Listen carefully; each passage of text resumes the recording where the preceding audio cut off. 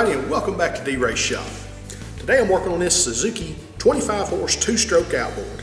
I'm going to be replacing the water pump impeller and servicing the lower unit. So let's get started.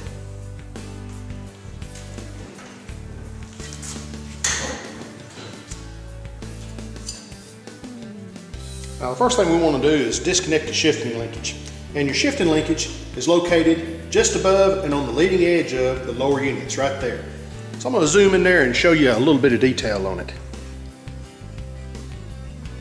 As we get on there a little closer, you want to back off this little jam nut right here. Then we got a barrel nut that adjusts the linkage. So what we want to do is just reach in here with your wrench, back off the jam nut just enough to break it loose. You don't want to turn it any more than that. That way we'll know where to put our shifting linkage when we reattach it. Then we're just going to back that, that barrel nut off just enough to get it to turn loose of the shifting linkage.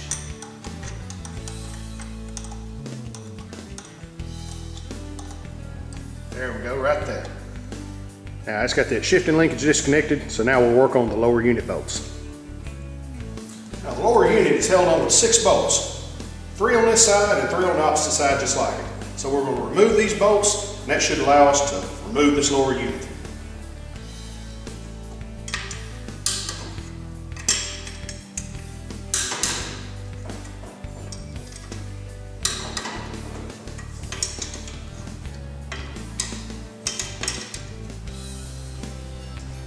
All right, I'm taking the last bolt out of the lower unit here. That should allow that lower unit to come off. Now the lower unit's kind of held on with some dowel pins. So once you get all the bolts out of it, you may have to kind of wiggle it a little bit to get it to turn loose. There we go. And just ease that lower unit on off there. Just like that, nothing to it. All right, we'll take this over to the workbench. We'll take this water pump cover off and see what our impeller looks like.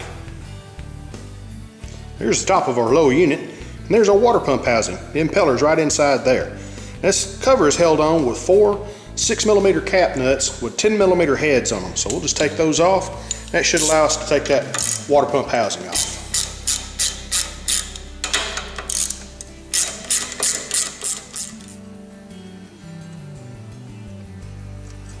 All right, now we've got those nuts and lock washers off of there. I'm gonna take me a screwdriver. I'm just gonna kind of very carefully pry up on that cover in a few places to kind of break it loose. Just like that. I'm going to work that cover up off of the shaft. Just like that right there. And just ease that on off. Right. There's our impeller housing. And you can see our impeller right there. Now one thing that you'll note about this impeller, I'm going to zoom on in here and get you a little closer look at it. If you'll notice these impeller blades are curved. That's a good thing to note because as this impeller is installed, you're going to have to turn this shaft in the direction that the shaft normally turns to orient those vanes correctly. Otherwise, you'll damage the pump the first time you start the motor up. Now, this old pump here doesn't look too bad. Some of the impeller blades have sat so long that they've kind of got a kink in them, so now is a good time to replace that. So to get that impeller off of there, what we'll do is just take a screwdriver, just kind of very carefully pry up on it, it up on that shaft a little ways, and what you'll also notice is that there's a keyway right there. That's what keys the impeller to the input shaft. So be sure you don't lose that. All right, there's our impeller. Now there's a keyway there. You want to kind of pry around on that, pop that keyway out. Now we've got that impeller off there, we'll reach in here and very carefully pry that pump plate loose.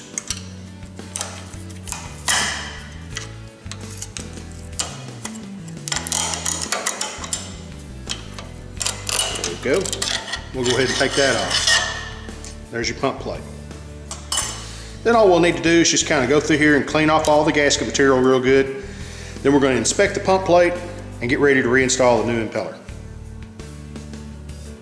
Getting ready to reinstall our pump housing now. And what I did is I just took the pump housing, cleaned off all the gasket material, and took a few minutes just to kind of give it a good inspection, make sure there wasn't no real deep nicks or gouges in that pump body. That one looked really good. And uh, this is our new impeller. One thing you'll note on it is that it has a keyway cut only on one side of it. The top side is solid. So when you go to install that new impeller, be sure to install it with the keyway facing down. Now you can buy just the impeller from your local Suzuki dealer or sometimes you can get them through an aftermarket source. But uh, what I like to do is I like to go ahead and just get the whole impeller kit. It's just a few bucks more and you go ahead and you get you a brand new impeller plate, you get a new keyway and a new gasket. And it's only just a few bucks more than just the impeller by itself. Now one other thing I like to do just before I install the impeller and the pump housing is I like to take just a small dab of grease and just kind of just put a light smear inside that pump housing. Now it only takes just a very, very small trace. We're only putting just, a, just enough in there to give that impeller a little bit of initial lubrication just before the water hits it. That way you don't overheat that impeller and burn it up during the initial startup. I'm gonna do the same thing with this impeller. I'm just gonna put just a, just a little smear of grease on the top and bottom sides of it and a little bit on the impeller blades. Now you don't want to overdo this grease here because you don't want it plugging up the insides of the cylinder head and things like that. I mean this is just such a small amount. All you can see on there is it's just kind of shined that up a little bit. We're not just really gobbing it on there.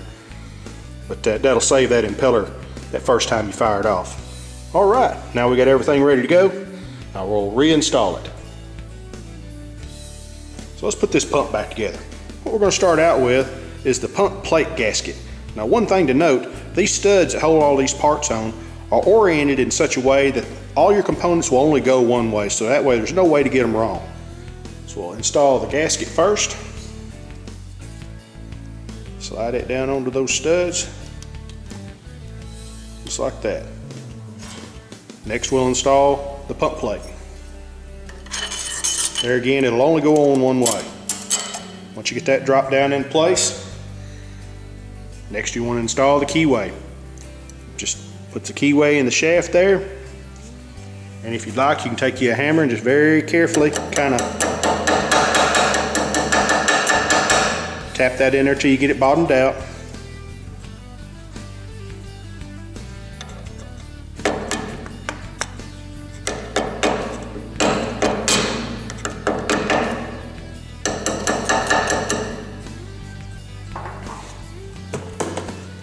right. Next to go on is going to be the impeller. And as we stated earlier, the impeller has a slot on one side and solid on the other. The slot in goes first, so we'll put it on this direction.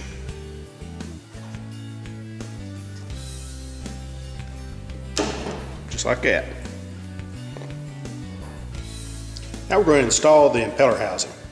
Now what we want to do, as we're installing this impeller housing, we're actually going to turn the input shaft clockwise as viewed from the top facing down you want to turn that clockwise because that's the direction that the shaft normally turns when the engine's running and what that's going to do is as we set that housing down there it's going to curve those impeller blades to have them oriented correctly so that the pump will work right so let's take our housing we'll just ease that down onto that shaft and just kind of rest it on those studs next we'll turn the shaft clockwise and put just a little bit of downward pressure on there and you'll feel those impeller blades just curl their way right on into the housing. There we go. Now we've got the blades oriented properly and we can go ahead and put on our lock washers and our nuts and we'll have this lower unit about ready to install.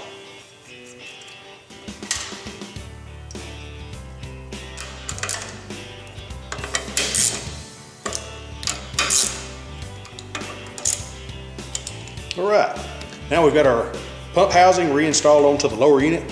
So let's go ahead and reinstall this.